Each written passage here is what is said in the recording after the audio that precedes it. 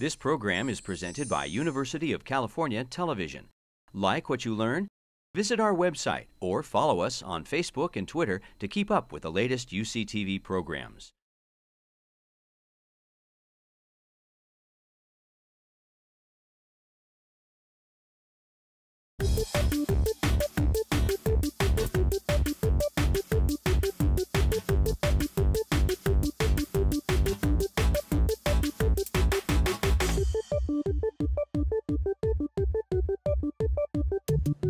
Well, I'm so glad that you all came here to talk about a subject that I'm, I'm interested in, but I got interested in it because other people were interested in it, and I got sort of taken in. So this is one of my volunteer kind of activities, working on energy uh, sustainability, and lots of young people here. So you're the guys that are interested in energy sustainability, as I'm going to try to say. This is a very long-term issue that affects all society worldwide, and uh, we have to figure out some way to deal with it. And it isn't my generation that's going to solve the problems, but it's your generation. So uh, try to get some ideas of what maybe you can do. Whatever you're working on, this is an area where you can contribute. So that's kind of the gist of what uh, I have to say uh, before I even say anything. Okay? And so, uh, personal uh, uh, perspectives, I'll tell you how I got into it as I go through my talk. So, in the beginning, I, I give you some of the, the background. Um, World Energy Outlook and Sustainability. So that's the reason I got roped into this. And uh, this is a part-time activity that I do, but I think it's an activity that many people should do, and uh, because everybody can contribute something different to it. So uh, the next part is about nanostructures. That's sort of my thing. And uh, so nanostructures uh, is one kind of material system that can contribute to energy. There are many material systems that can contribute to energy, and there are many things that aren't material systems that can contribute to the subject matter that I'm talking about today. So this is really very broad, and uh, it takes many talents. So um, here is the, the background uh, part about it that, as you can see, the population of the world is increasing at a fast rate. Um, uh, some years ago, uh, um, so back here, so this is a couple of centuries ago, uh, there were many people born, but they didn't survive very long, so population didn't increase. But then modern, modern medicine came along and uh, survival rate incre increased dramatically. And um, so this is sort of in my time. I was born in 1930, so somewhere in here, just when all this was starting. And uh, uh, it's continuing. And we're expecting maybe that the population will cap at about 10 billion people on the planet. And are we going to have resources for them? Well, you know, this is a question we can we can ask, and uh, uh, there are two sides to it. So, and I'll I'll go into that in a moment.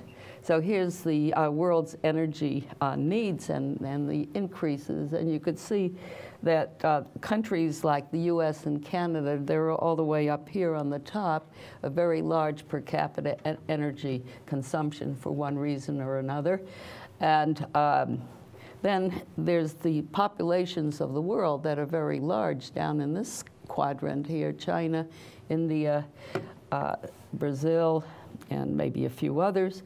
Uh, and uh, they're producing uh, large numbers of people, but they uh, quality of life has not reached the same level of energy consumption, but that's changing, and it's changing pretty rapidly.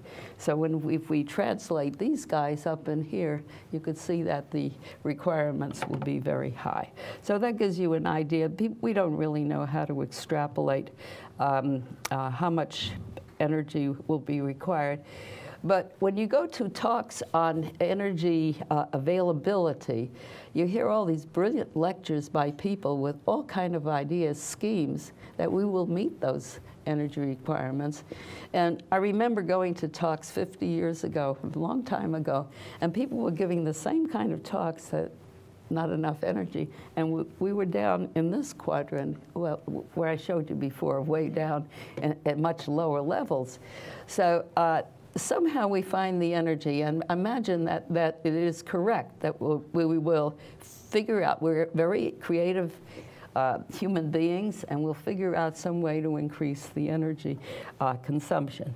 But are we going to be able to do the following? I'm going to go on uh, into talking a little bit more about it.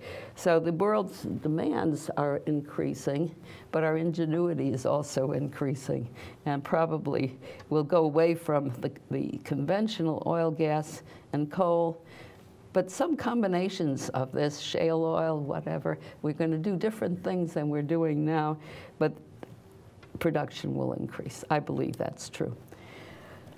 The part that, that we're not as much uh, uh, tuned into is what it's going to do to our environment and the temperature of our planet.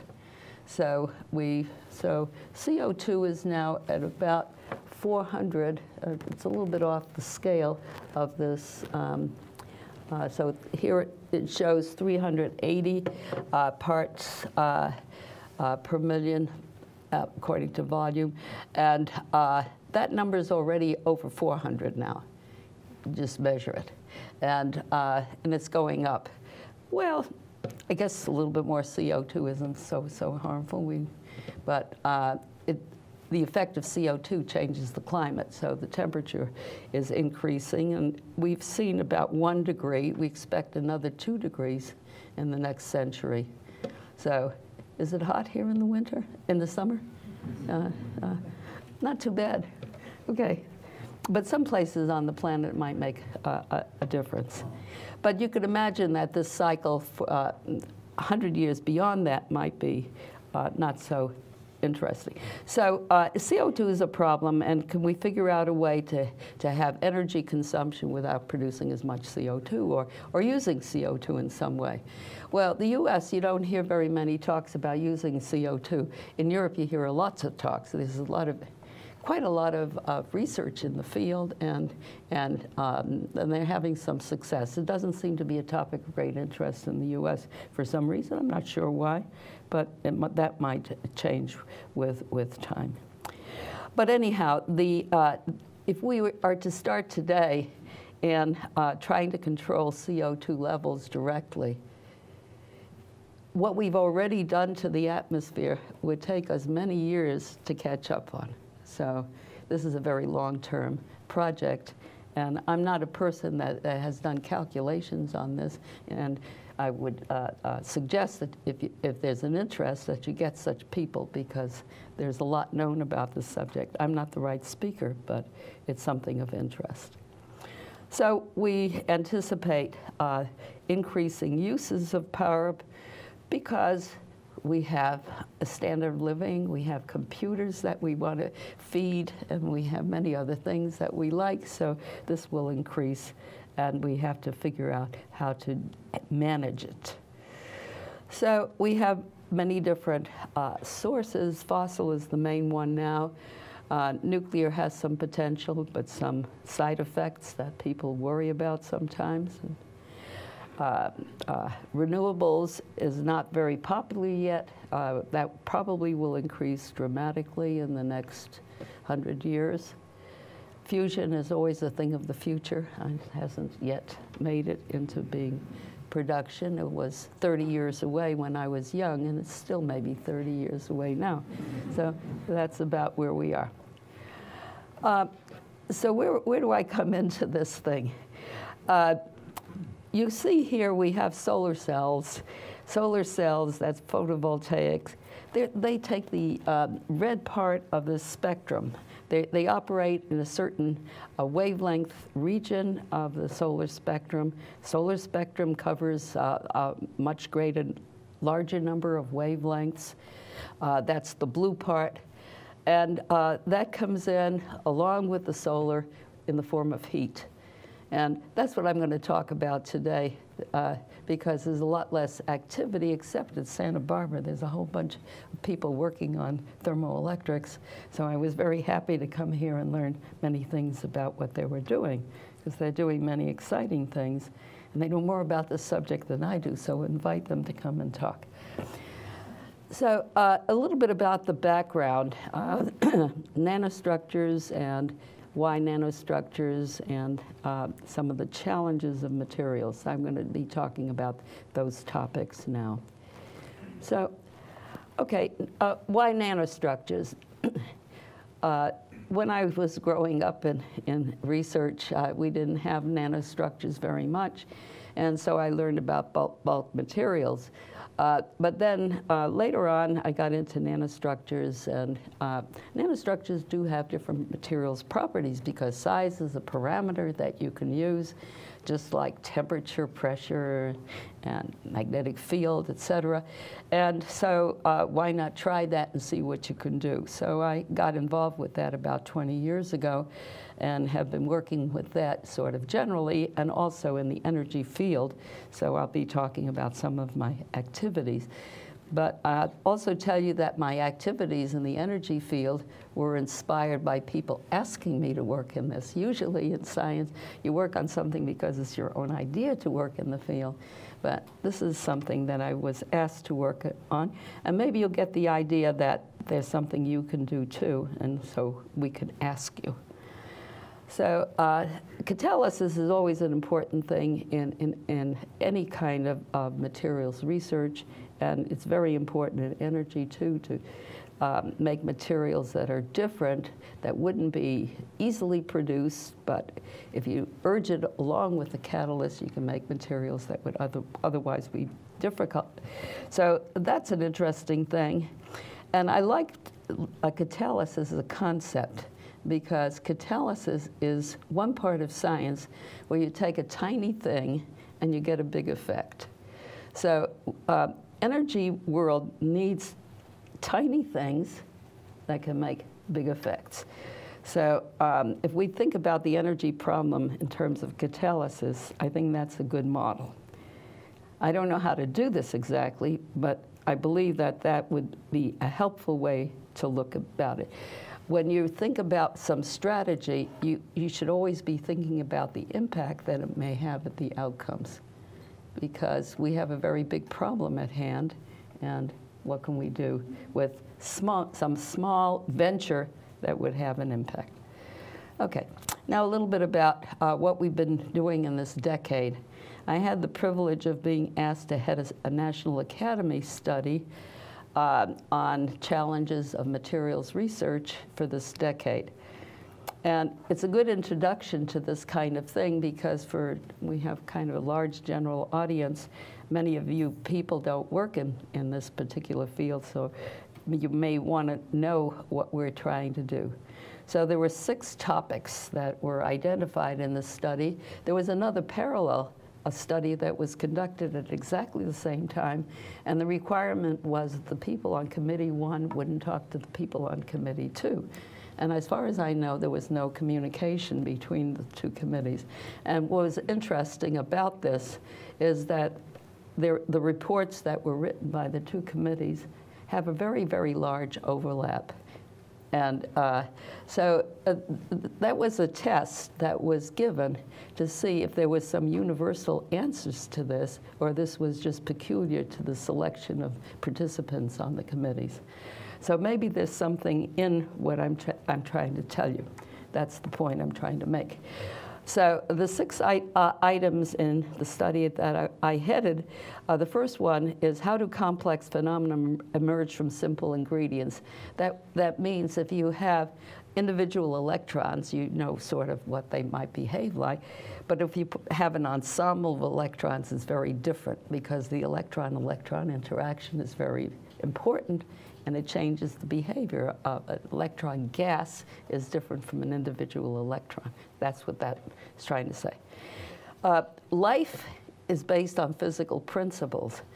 We really don't know very much about it except that it's an an uh, out of equilibrium phenomena, but the physics of life is a really big subject, and we're not putting a whole lot of money and effort into trying to understand the difference between living and non-living systems and those kinds of things in a fundamental way. So maybe that's a good topic for somebody to work on. So what happens far from equilibrium and why? uh, I'll have a couple of view graphs on that.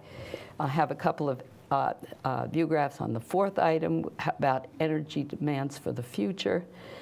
And um, the fifth one is information technology. That's received a lot of attention. I'm sure at this university, this is a major center for information technology, both from the software and hardware sides. And finally, um, the nano world. And that's been, that's going to be a big part of my talk.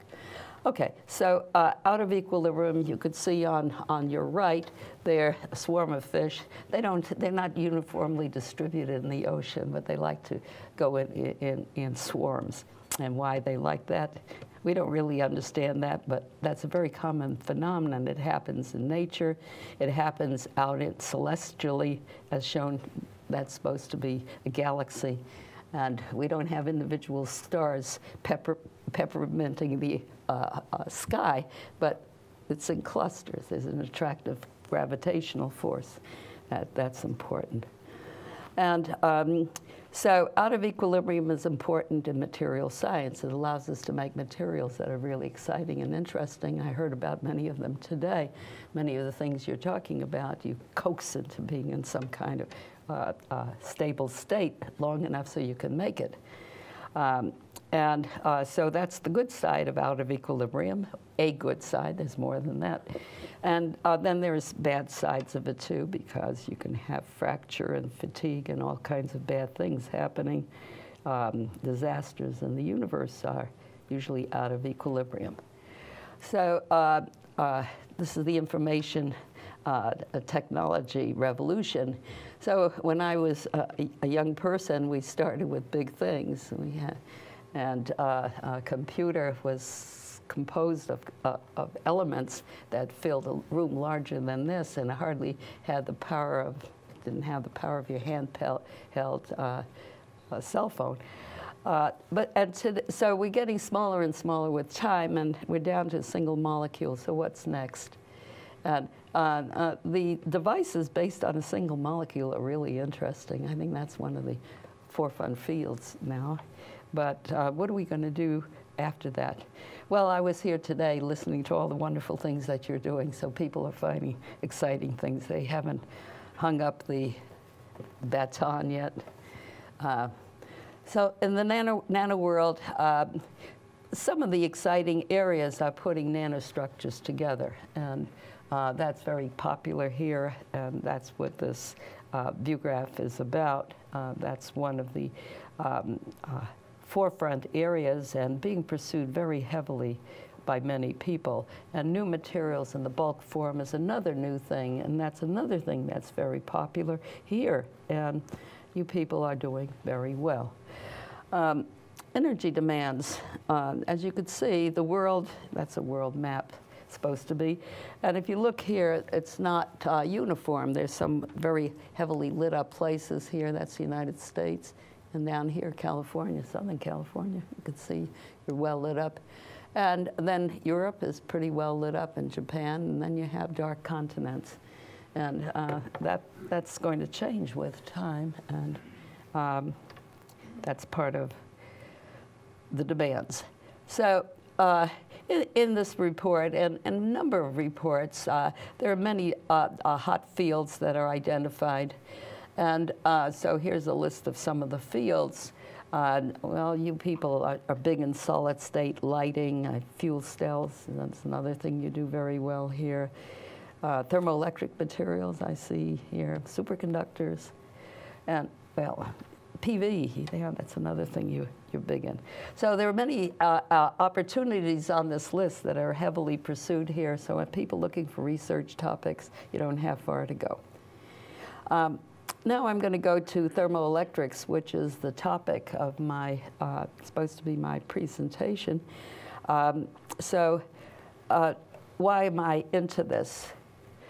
uh, I got into this, uh, I tell you my personal, this is supposed to be my personal uh, uh, story. So I was invited by the government to work on thermoelectrics. They had, were interested in, in improving the operation of submarines. And they wanted to know, well, you know, water is cold and submarine has uh, a fuel plant, right? They need energy to move, so there's a high temperature. So if you can make use of that temperature dif difference, uh, you might be able to uh, increase your fuel economy 10%, 5%, something. That would make a big difference. So uh, that, that's what they were mostly interested in, in doing. And uh, so um, I had a visit from some high-level people from the government, came to MIT, sat down in my office, and, and asked me if I had any ideas what to do.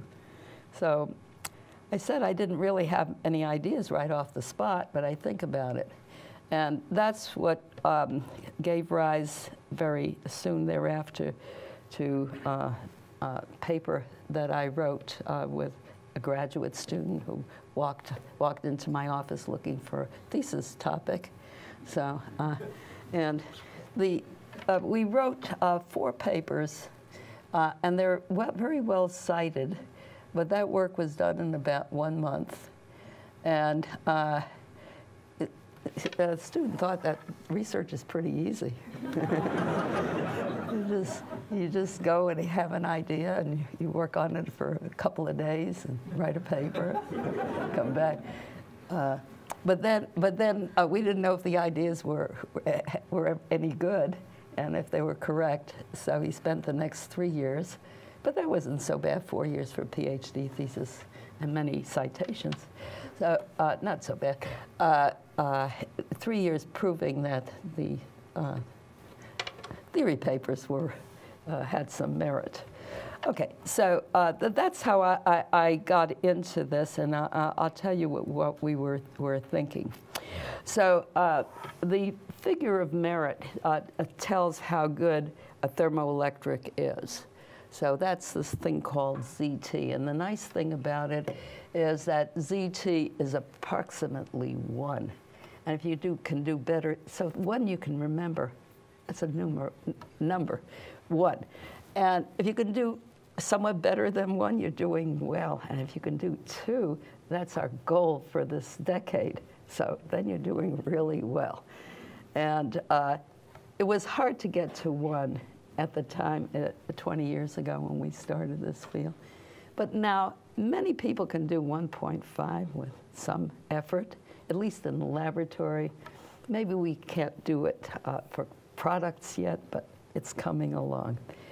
Why is it good? Well, it's no, no moving parts in thermoelectrics. You just have a bar, and you have a temperature difference, like I said, between the submarine and the ocean. And so if you have um, a temperature gradient, you have um, different density of electrons across the bar. And that's what produces different density of electrons will produce a voltage. And the ratio between the temperature difference and the voltage is called the Seebeck coefficient. And some materials have high Seebeck coefficient and other ones don't. So you look around for the materials that do. Well, it's not really so much looking if you want to do first order, because the material that we use today, and that's the best material, was the material that was discovered in 1954, and it's still the best material. That's bismuth telluride, and that's the commercial material today. But in the laboratory, we've done better than, than this, and so people are doing, and, and this, this university, there are a number of examples of doing better than this. And uh, so, and there's hope for doing even better than we're doing today because it used to be that there were no people working in this field, and now there are large numbers. So uh, collaboration and exchange of ideas turns out to be uh, important. So uh, we're interested in all of these things, um, uh, environmental friendly system. Uh, you can make hot spots, cold spots, you can do all kind of things like that. And you could cover, recover waste heat and create energy from it. That sounds so wonderful. So um, the problem has been hard, and the reason is that it isn't easy to make this factor ZT, this figure of merit, greater than 1. Why? This Seebeck coefficient has the property, uh, it's an in, sort of intrinsic property of material, and, but it depends on the carrier concentration. Here's carrier concentration, it's log plot. And you could see carriers increase, Seebeck coefficient goes down. Okay, that's the law of nature. But we want that to be large. At the same time, we want the electrical conductivity. The electrical conductivity is how well the electrons can move without being scattered. So you want it to get from one end to the other without being scattered. And uh, to do that, uh, you need carriers to carry electricity. And so we like a high carrier concentration. So here it's conductivity goes up. And you see, if you have high Seebeck, you don't have high conductivity. If you have high conductivity, you don't have high Seebeck. So you have a, a, a, you have a compromise, and this is your compromise. And so there's some carrier concentration that was very high for uh, uh, uh, semiconductor, but we know how to make it now, and we've known for some time. So that's one of the challenges, how to do all of that, and at the same time to have a low thermal conductivity. But the um, uh, thermal energy is carried by electrons also. And we have the electrons carrying uh, electrical energy, and we have electrons carrying thermal energy. So they're proportional in some sense, at least the electric electronic part is proportional, and nothing we can do about that. So uh, we have some compromises always in thermoelectrics, and that's why this problem has been difficult. So um, difficult. This is difficulty, difficulty time. So here's a plot over time. So 1940 is sort of a beginning time. And um, just right after World War uh, II, there was great activity in, in, in uh, Russia, former Soviet Union, and much of the early work in this period was done there. But bismuth telluride actually was not was developed in the UK. So anyway, there was a big increase over a 10-year period from low, very low, to figure merit of one. That's 1960. And then there was a 30-year period when not much happened. There were some papers published, but very little progress was made in the field that had any impact, uh, long-lasting impact. And it was at this point that I, uh, the government got antsy and wanted to have activity. So uh, they started talking to me at 1990, that's sort of here on on the scale, and I sort of started my first efforts in 1992, published efforts. You know, we were talking about we should do this, oh, who's going to do this, and, you know, like that. No background in the field, so what can we do? Um, the first thing we did is figured out uh, what, what's some strategy, and that's what I'm going to tell you. So uh, the strategy that we came upon was to uh, uh, try to do small particles, do, do uh, uh, uh, size as a variable that hadn't been tried before, thinking that the properties of, of small systems behave differently, that is, nano-sized systems behave differently from the bulk. So in 1990, there was um, some kind of advertisement to think nano. And so there were a lot of people thinking nano. I was thinking nano too, and I thought nano might be good for thermoelectrics. So uh, that was uh, my avocation when I had nothing else to do. I might think about this a little bit. Uh, and you could see that uh, what we do now is so we have these superlattices, and that's very popular here. Um, and superlattices work very nicely um, in improving, in that's work that you can hear from here, or you could put little particles in, quantum dot, super, uh, superlattices, and that That's also done here very well. And then you could take a bulk material and put nano inclusions into it. So that has been done by the group at, at, Northwestern University very effectively. So there are different strategies that were introduced about 20 years ago. All of these things were started about that time. And um, they're responsible for this rise that has taken place here. Um, this is, these are just uh, uh, occasional uh, occurrences. Most of that can't be re reproduced very frequently, you know, over this period. And, and it's only, I would say, in this decade that some reproducible results are really coming along. Um, but in the last 10 years, it was just discovery kind of work. All right, so uh, um, moving along, this is the summary of what I said. It's very hard to have high Seebeck coefficient and high electrical conductivity at the same time because the counter um, action of the components.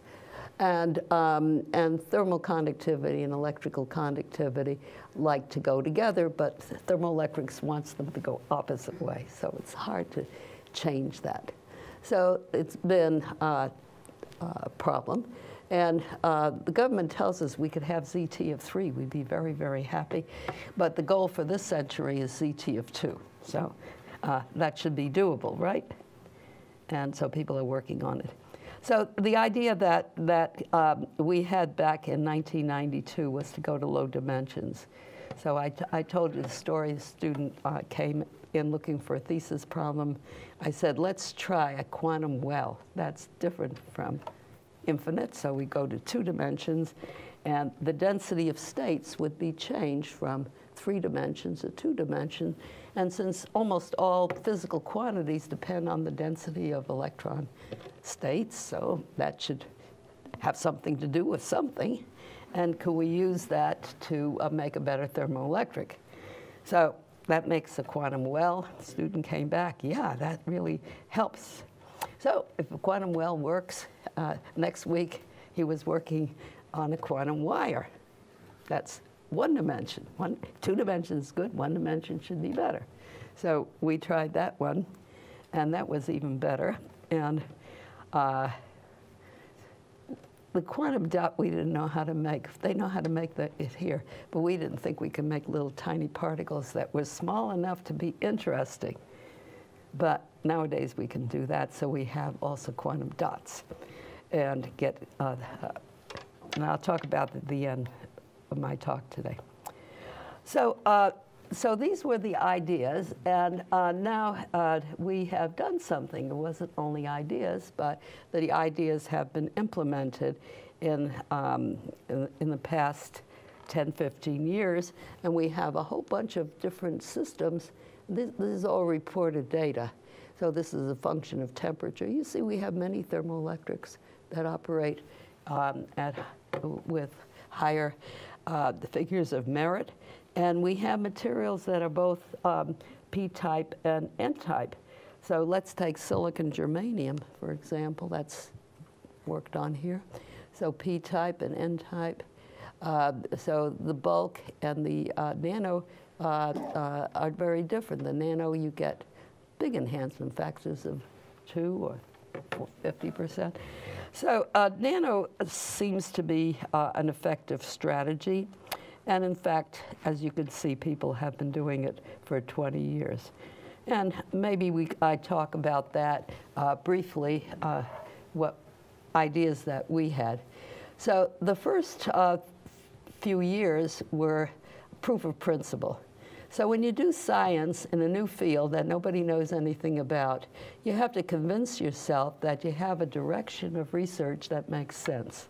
So I call that the proof of principle stage. You're making just tiny quantities of something in the laboratory to prove to yourself that, that what you're thinking about isn't nonsense. Uh, the next step is to, to say, can we scale this up to make a material of gram size that's large enough that you can actually accomplish something with that material that's useful for society.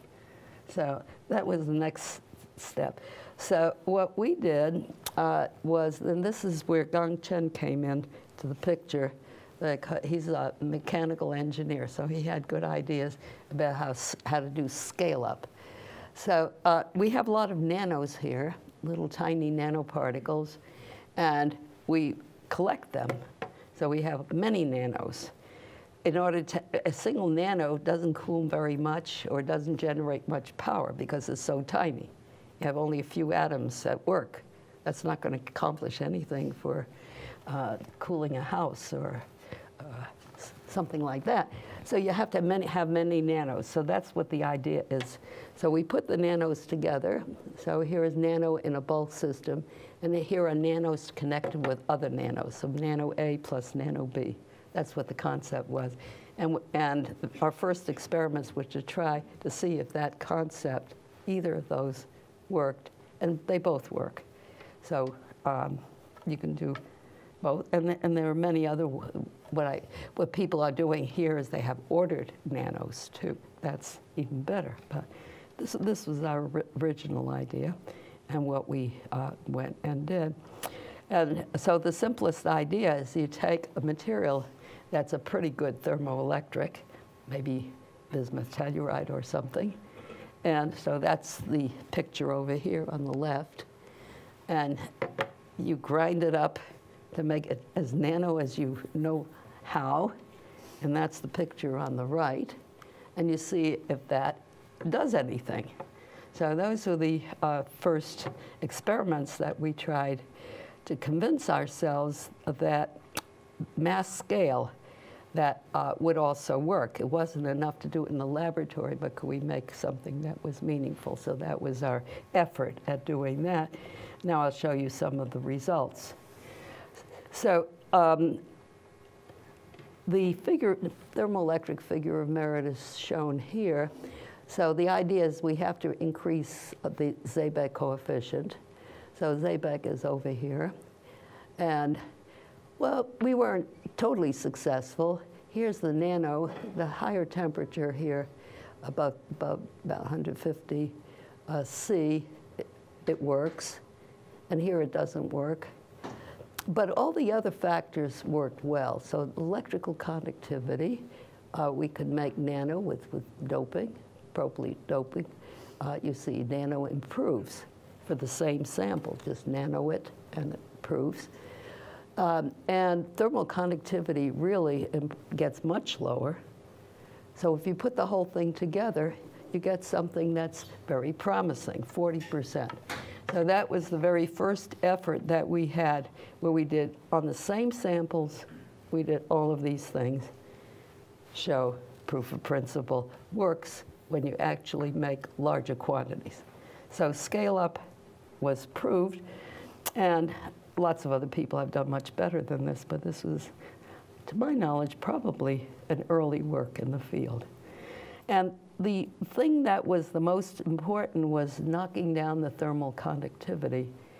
Um, and uh, the nano part of the lattice was the phonons that were the biggest effect. That's what we show with this. So uh, this is for the totals, and this is now just the, phonon contribution and that was the most important individual part. So uh, we understand a little bit about the science and where we're heading and, and somewhat why we're heading in that direction. Now, thermoelectricity is a very strange kind of field. When you read the literature, you're never quite sure that the people have done the experiment correctly.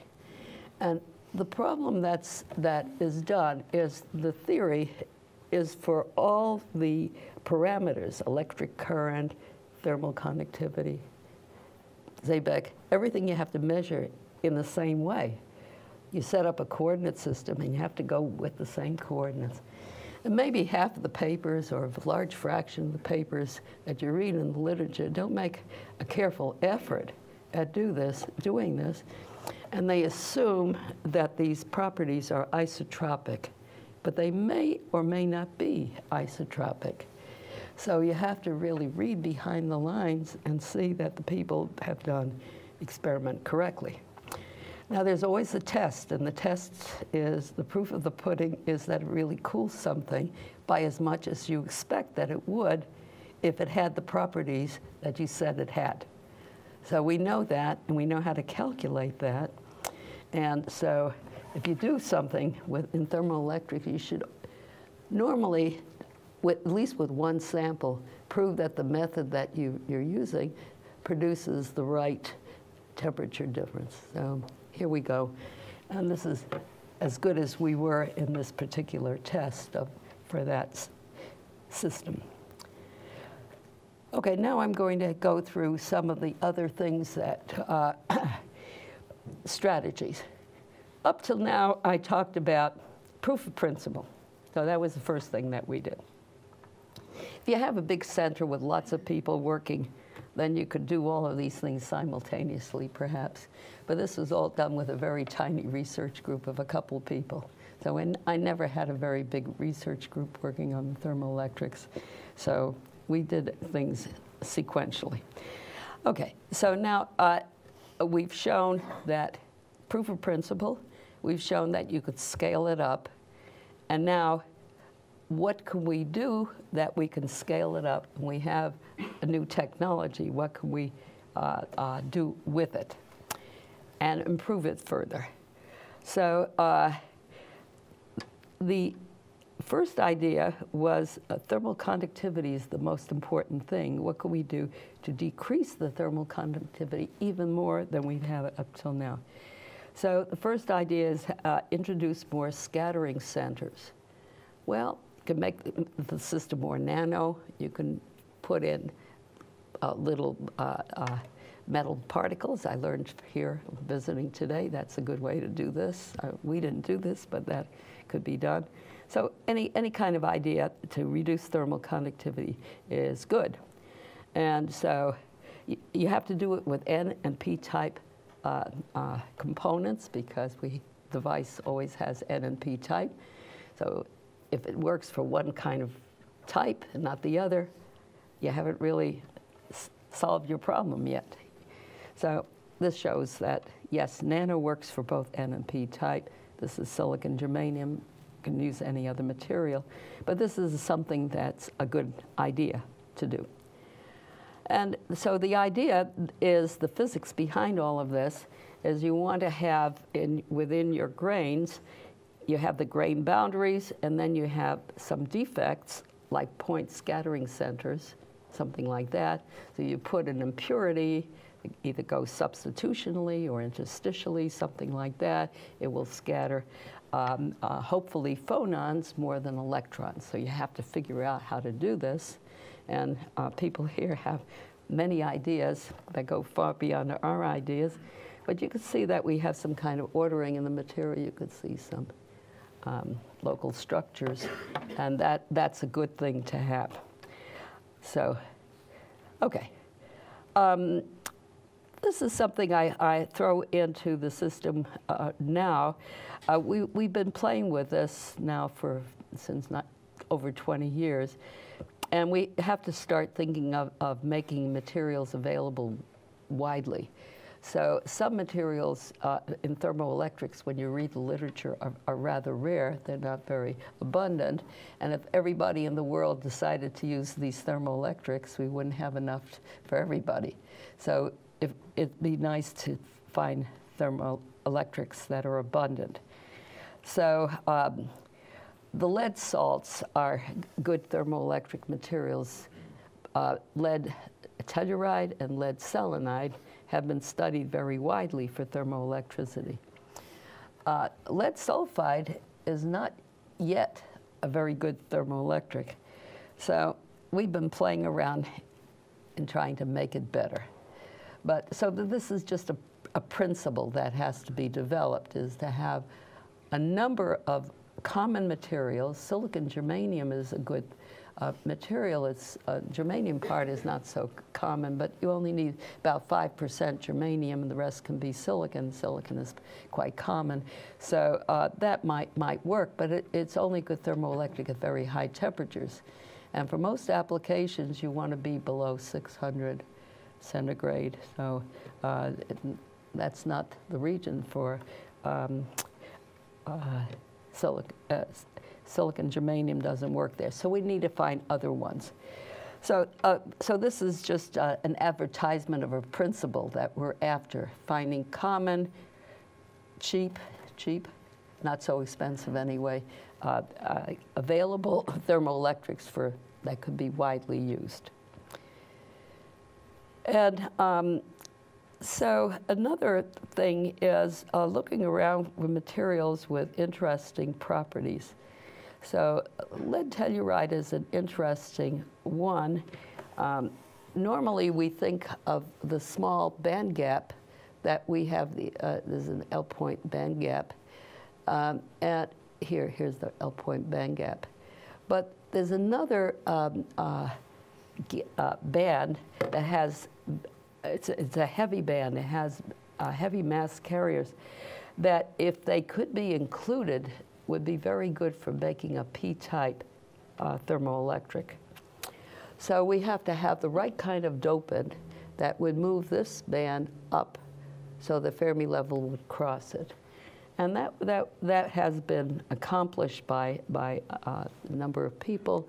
And this is one, Li Shi is here, and uh, uh, Jeff Snyder is, some people might rec recognize uh, them.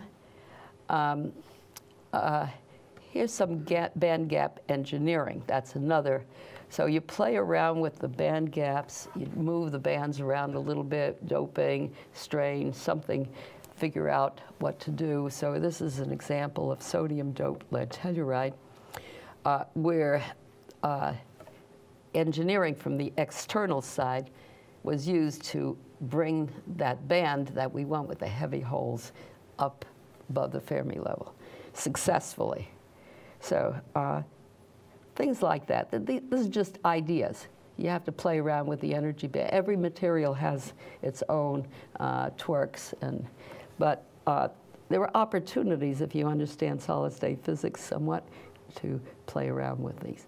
So that's the first thing is um, uh, playing around with the bands to uh, promote a higher ZT. Um, another thing that, that I, I, learned, and this is playing around with the density of states.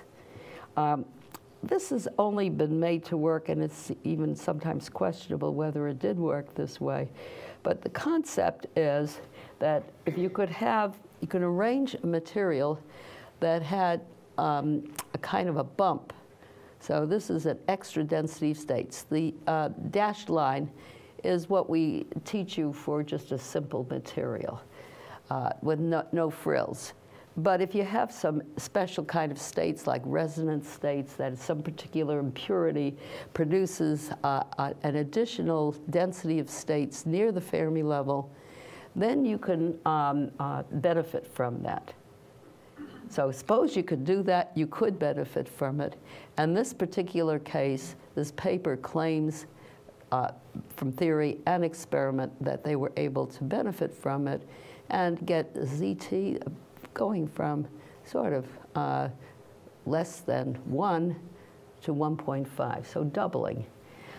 Uh, I'm not sure you believe this work, but the idea is a good one.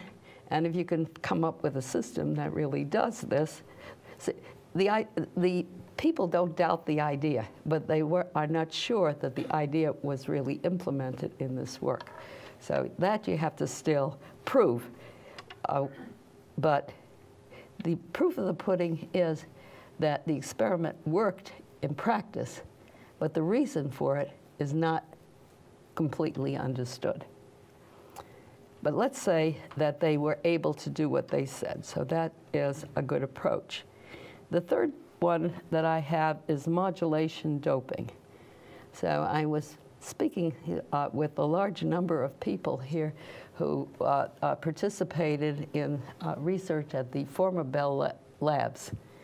And uh, so I learned about this whole thing from Bell Labs papers. And so these people wrote a very important paper, modulation doping that uh, revolutionized uh, semiconductor physics and devices based on semiconductors. This, had, this paper had a very large uh, impact on devices, and uh, so it was a Nobel Prize uh, winning uh, work.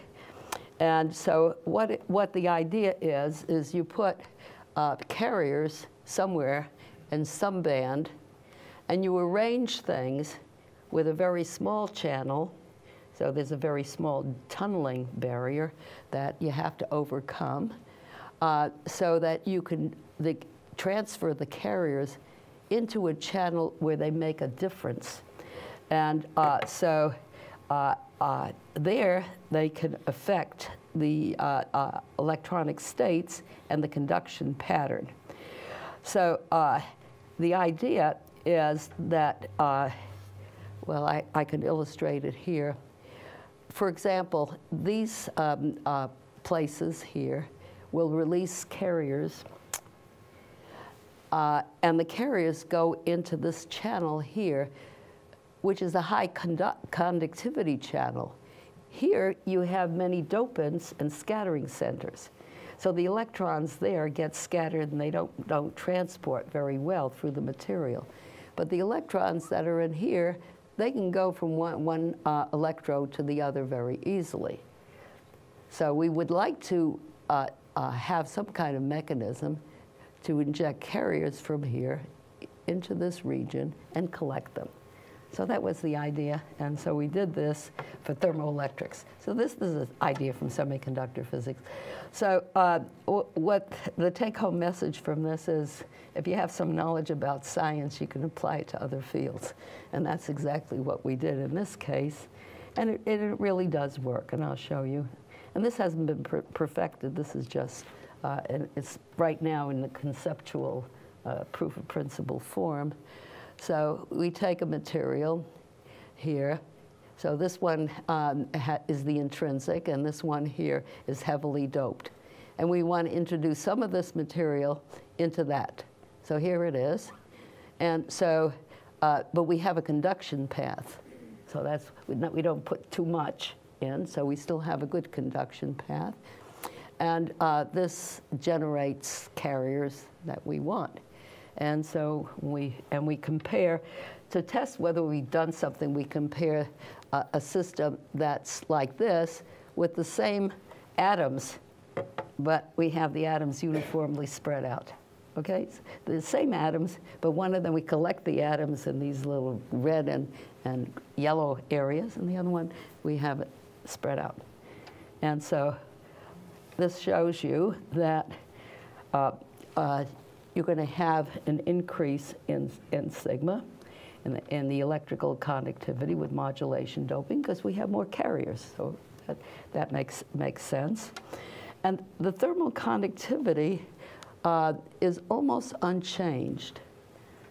So that, that's good. We were able to have the phonons uh, seeing almost the same uh, uh, background, but the electrons behave differently, and that's what you want to do in a, in a thermoelectric material. So this is just one idea that we have. Made, we made it work, sort of, and uh, so the ZT went up by some few percent.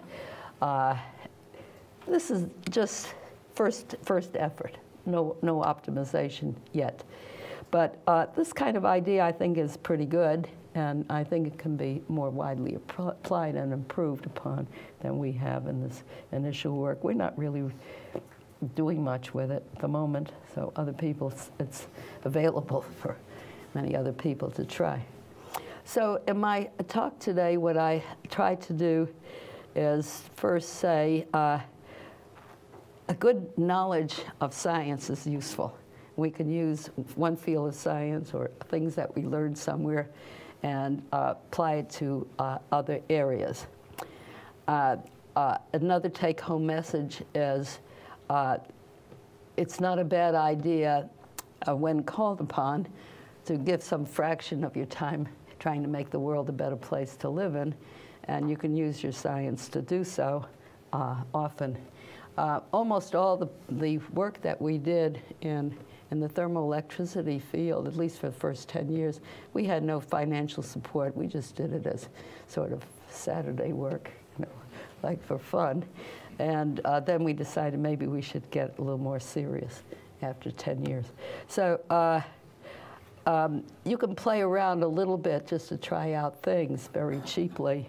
And if it works, then you go into it more seriously. That's home, take-home message that I give you if, if you care to take it.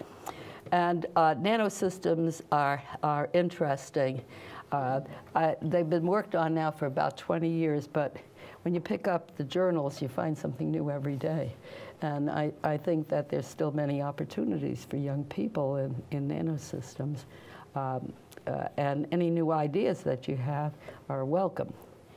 So um, we need new strategies for implementation once we show proof of principle. And uh, what this particular field needs now is more new, new ideas, new concepts. I gave you a couple of ideas I had and that we're working on, but uh, I'm sure that there are many others, and I heard the many others here. And uh, they're not all from nanosystems, just on, in the bulk. I, have heard many new, new things happening. Uh, and what's, what's different about now and, uh, and maybe 20 years ago or even 15 years ago is the large number of people interested in energy and energy security and starting uh, energy centers, as you have started one here. And I think all of those things point to um, collaborative work because many of these kind of projects, like I talked about today, require people that know how to make materials and people know how to measure them and people that have ideas about crazy things to try. And you need to put all these together to have success, I believe, in this energy game. So that's sort of my message, and I'd be happy to take questions.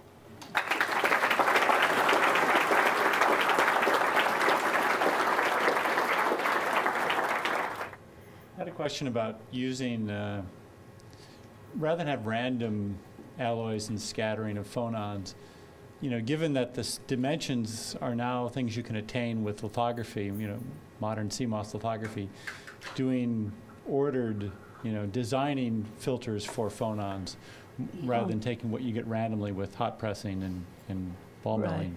So you want to know about the uh, uh, controlled production versus the mass production. Yeah, that's my so, hope. That's the next big increase. Well, okay. So, so this is the answer that I, have gotten so far from the industrial folks, and you may get different uh, uh, uh version. Uh, uh, what you're talking about is costly, and um, in thermoelectrics, cost is a very, very large factor because energy production, which fuel you use and which process you use, is largely governed by cost rather than efficiency. Although efficiency is related to cost because you have very efficient process, then you get more for more bang for the buck, so to speak. Thank you very much.